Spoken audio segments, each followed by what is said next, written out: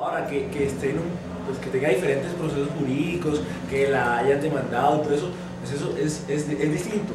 Pero, pero, digamos, lo que, lo que existe en esos, en esos momentos que está en trámite apenas es un proyecto de ley, es el proyecto de ley 202, que es, digamos, ya la, la doctora lo mencionó ahorita, es, digamos, es un poco más eh, sustancioso en, en, materia de derecho de autor, por decirlo así, pero la ley ya como tal, ya, ya está... Ya está aprobada.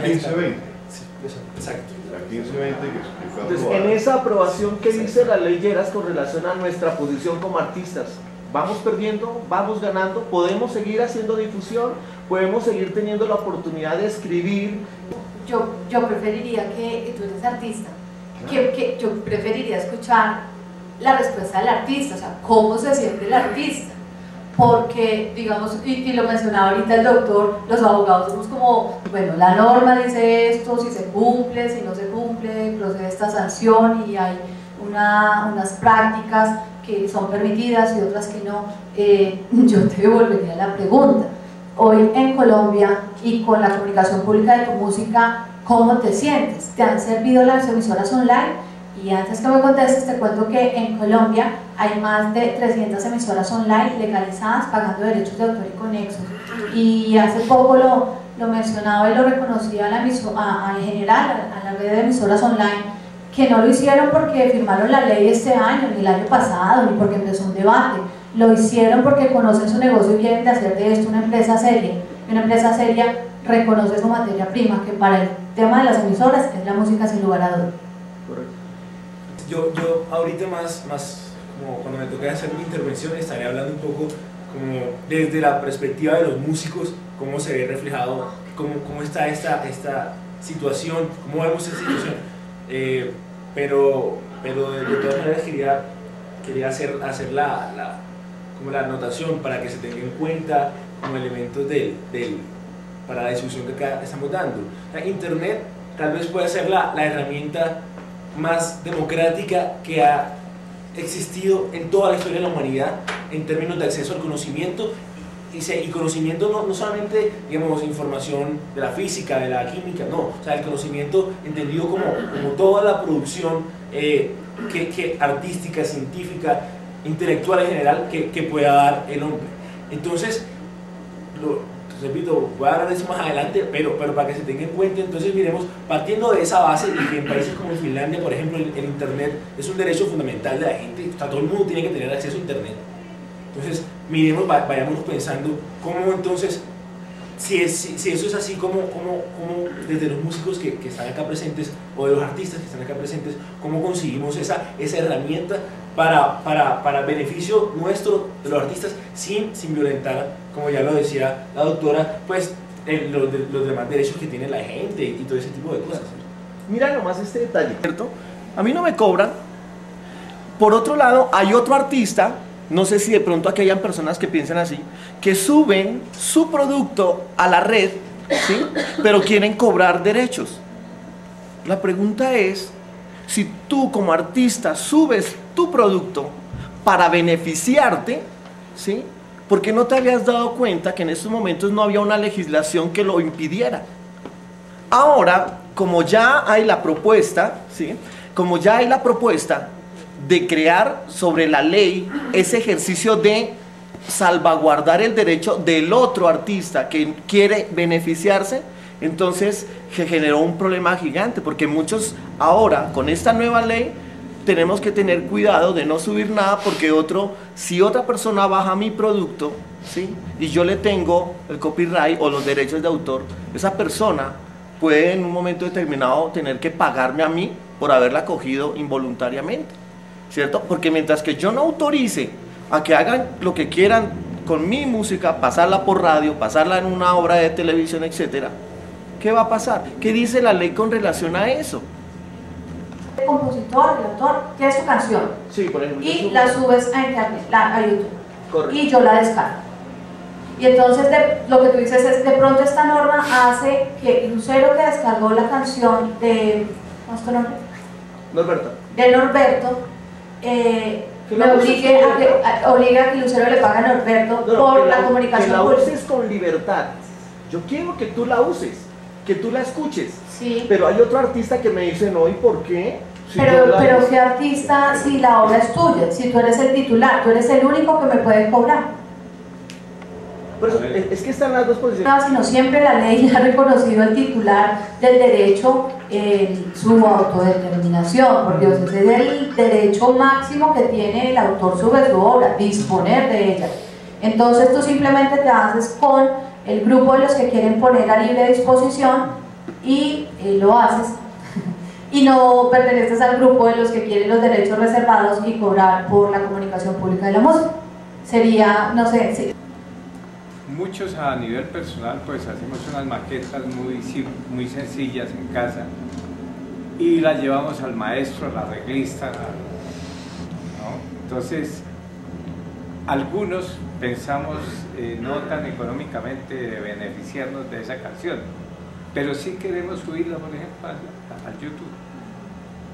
Pero tenemos esa barrera de los arreglos, los cuales sí el maestro pretende beneficiarse y tenemos esa cortapisa, tenemos esa talanquera para la divulgación de la obra del compositor de barrio, llamémoslo así en este caso. El maestro quiere usufructuar su trabajo, es un trabajo, él vive de eso, pero nosotros no vivimos de eso. ¿Qué dice la ley al respecto? No, no hay sino el, el maestro, el, el arreglista, eh, la partitura, el de la música, tiene derecho sobre la literalidad del el autor, sobre la música, la partitura, el compositor, sobre la interpretación, el artista que le pone esa voz, sobre la ejecución, los músicos maravillosos que en Colombia tenemos muchísimos que ejecutaron todos los instrumentos y ahí mal contado ya vamos como 15. Y después, hoy día digamos que no es de pronto el negocio como se desarrolla, pero también puede ir el productor fonográfico si ustedes mismos, esa cadena que acabo de mencionar, no se constituyen para, para hacer esa producción no se ponen de acuerdo para hacer esa producción, vendría otra persona que es el productor. Y ese productor va a hacer que la suma de todos estos elementos que he venido mencionando eh, generen y salga a la luz una obra, como no sea como fonograma o videoclip hoy día o video, etc. Entonces, el caso de Norberto es muy claro porque mi- yo soy todo. Ese es el titular de toda la canción y se fue. Él solo dispone y verá lo que hace. Pero en el otro no porque estamos vulnerando los derechos de las otras personas que han participado conmigo en esa creación. Entonces ahí sí, eh, maestro, sería muy interesante eh, buscar un mecanismo porque efectivamente, usted puede decir, si van a cobrar 100 pesos por eso, pues cobren solo 50 porque a mí no me interesa cobrar mis 50. Estoy hablando hipotéticamente, buscando una solución para lo que usted plantea. Pero efectivamente puede renunciar a sus derechos patrimoniales y simplemente le corresponderían a, las otras partes.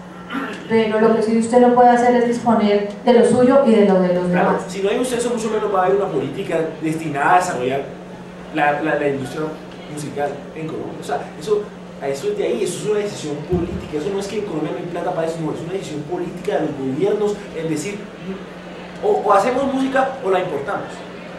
Es- esa, es, esa es la decisión que se toma en Colombia.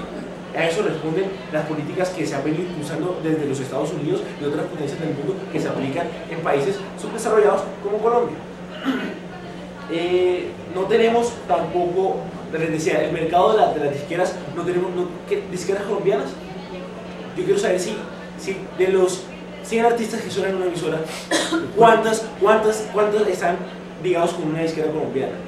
Porque el mercado aquí lo manejan Sony, Warner, eh, Universal y M-Music. Exactamente. Que son, que son las que manejan el mercado mundial, ¿eh? O sea, no, no es que en Colombia, no, es en el mundo entero. Y que, y que o sea, revisando los estados financieros de estas, de estas compañías, podrán ver, Sony Music tiene, por ejemplo, eh, empresas de aseguradoras de riesgo, tiene bancos, tiene producciones, de productoras audiovisuales, tiene de todo. A- canal de televisión, a costas de, ojo, a costas de el acceso de las personas hacia la música y la, cultura en general, pero también a costas del trabajo de los artistas, de los creadores. Y eso hay que prestarle mucha atención. Ya, ya me voy a referir más a eso. Entonces, en ese, en ese en ese mundo de, de políticas que en Colombia se han venido implementando, que han, digamos, golpeado enormemente la situación de los colombianos, pues obviamente también nos toca a los músicos. Porque entonces, ¿cómo vamos a nosotros los músicos a pelear? Yo le decía al profesor Manuel, ¿cómo peleamos los músicos por seguridad social? ¿Cómo peleamos por pensión? Cuando sea, entonces se implementen también una política, un- una política de pensiones, una reforma pensional totalmente adversa en contra de los intereses de los colombianos. ¿Cómo, cómo peleamos por salud los, los músicos si tenemos una ley 100 total, que es un negocio para las EPS y, y el detrimento total para la salud de los colombianos? Sea, en ese marco es que tenemos que entrar los músicos a pensar por qué estamos peleando y contra qué. Tenemos que organizarnos y movilizarnos. Discúlpeme. Tra- tra- traer un momento. Entonces, en ese, en ese marco, en esa situación actual, está la ley Lleras. Entonces, concretamente, la, la ley Lleras, ¿qué hace? Ya lo mencionó la doctora. En primera, en, en primera instancia, aumenta los tiempos de monopolios que tienen los titulares de los derechos sobre las obras.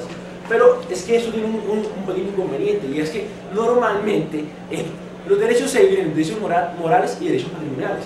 Los derechos morales son los que, bueno, sí, yo soy el autor de, de esta obra, yo hice este poema.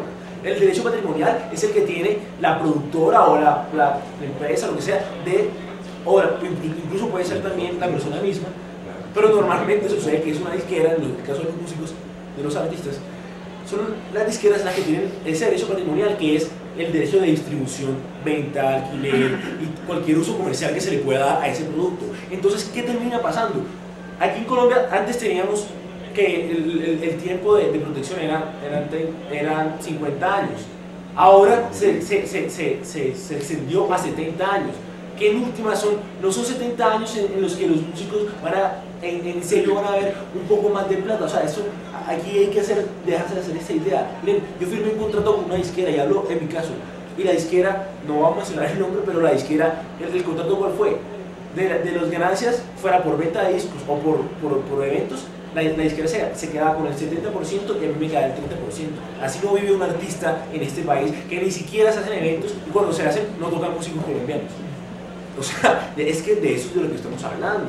Entonces, al extender los tiempos de monopolio no se está extendiendo el tiempo ni se le está eh, pues, otorgando al, creador defendiéndole su, su derecho como tal de, de, de, de, autor y, y- y que eso se transforme en, en en beneficios materiales a él. Sí, le podrá, la disquera le podrá dejar uno que otro peso, pero el, el, el, el premio gordo, la, la cifra grande se la están llevando esas disqueras.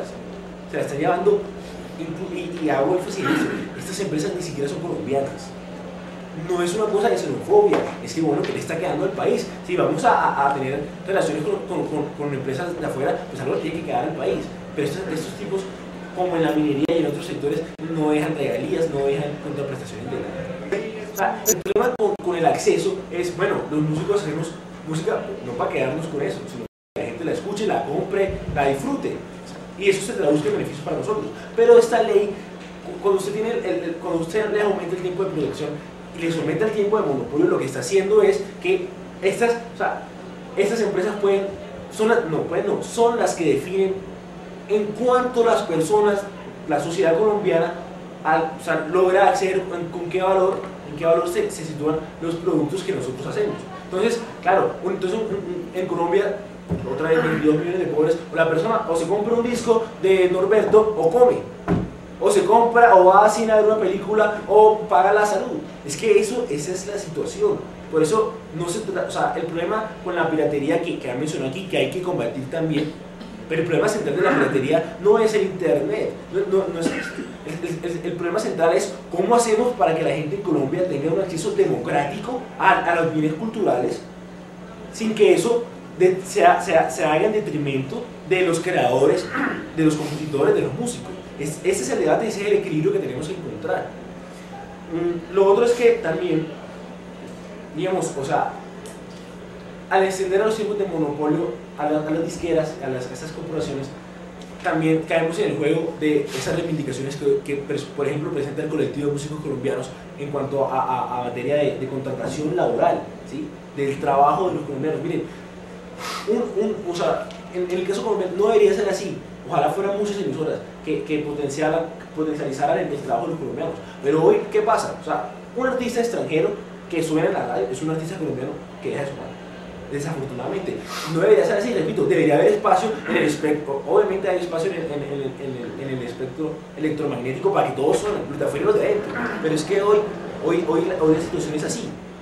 Entonces, precisamente por lo que usted ha mencionado, payola, esas empresas no son ajenas a la payola, estos tienen